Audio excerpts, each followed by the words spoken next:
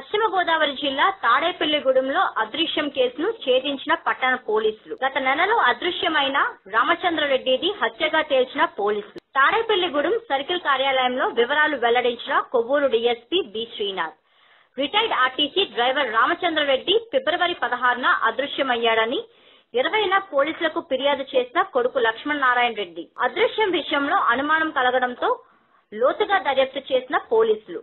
రామచంద్రరెడ్డిది అదృశ్యం కాదని అతని వద్ద అప్పు తీసుకున్న దుర్గాప్రసాద్ అతని అనుచరులు మంచాల యేసు గడిసెల రామకృష్ణులు హత్య చేసినట్లు పోలీసులు విచారణలో వెల్లడించారు. రామచంద్రరెడ్డి అప్పు ఇమ్మని వేధించడం కోర్టులో దుర్గాప్రసాద్ వద్ద అప్పు ఇచ్చిన దానికంటే సొమ్ము అధికంగా గుంజడం వంటి విషయాలతో కక్ష పెంచుకున్న దుర్గాప్రసాద్. పథకం ప్రకారం రామచంద్రరెడ్డిని దుర్గాప్రసాద్ కారు ఎక్కించుకొని పెదతాడేపల్లి వద్ద కారులో ఉన్న పాలిష్ క్లాత్తో హత్య చేసిన నిందితులు. హత్య అనంతరం శవాన్ని పడల అయ్యప్ప స్వామి గుడి వద్ద గల ఏర్ కాలువలో పడేసిన నిందితులు. నిందితుల వద్ద నుంచి రెండు ఉంగరాలు బ్రాస్లైట్ హత్యకు ఉపయోగించిన పాలిష్ క్లాత్ కారును స్వాధీనం చేసుకున్న తాడేపల్లిగూడెం పోలీసులు.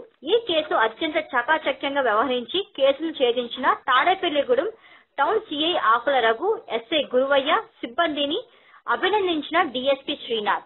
ఊరు sub division Tadepalligudem town police station లిమిట్స్లో ఇరవై లాస్ట్ మంత్ జనవరి ఇరవై తారీఖున ఒక మిస్సింగ్ కంప్లైంట్ రిపోర్ట్ అయింది. Crime number thirty six bar twenty twenty వన్గా. సో ఇందులో కంప్లైంట్ యొక్క ఫ్యా కంటెంట్స్ ఏంటంటే కొడుకు వాళ్ళ తండ్రి రామచంద్రారెడ్డి అని వాళ్ళ త- తండ్రి తండ్రి మిస్ అవుతున్న మిస్ అయినాడని కంటెంట్స్ ఇచ్చాడు. పదహారో తారీఖు నుంచి మిస్ అయినట్టు మనకు రిపోర్ట్ ఇచ్చారు. సో ఆ తర్వాత మన జిల్లా SP sir Narayana Nayak sir missing cases అన్నీ ఫైనలైజ్ చేయాలి తొందరగా ట్రేస్ అవుట్ చేసి ఫైనలైజ్ చేయాలని చెప్పి మనకు ఆదేశాలు ఇవ్వడం జరిగింది.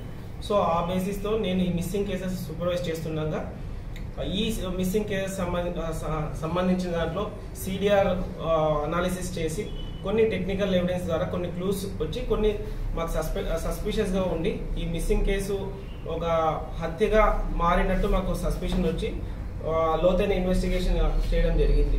ఈ లోతైన ఇన్వెస్టిగేషన్లో మనకు ఒక ముగ్గురు సస్పెక్ట్స్గా ఐడెంటిఫై చేసి ఫర్దర్ ఇన్వెస్టిగేషన్ చేస్తే ఇది ఖచ్చితంగా హత్యగా చేసినట్టు మనకు నిర్ధారణకు వచ్చి దీని యొక్క ఫ్యాక్ట్స్ ఏంటంటే మనకు దు- దుర్గా వరప్రసాద్ అనే ఒక అతను ఆర్టీసీ కండక్టర్గా పనిచేసి రెండు వేల పద్దెనిమిదిలో రిటైర్ అయి ఉన్నారు సో ఈ రిటైర్మెంట్ కంటే ముందు రెండు వేల పదహైదులో ఇరవై ఐదు వేలు అప్పు తీసుకున్నాడు ఎవరైతే డిసీజ్డ్ రామచంద్ర రెడ్డితో. సో వీళ్ళిద్దరూ ఏపీఎస్ఆర్టీసీ డిపార్ట్మెంట్లో పనిచేస్తుండేవాళ్ళు ఇతను అప్పు ఇచ్చేటప్పుడు ఐదు రూపాయల వడ్డీ పది రూపాయల వడ్డీతో అధిక మొత్తంలో అప్పించేటోడు.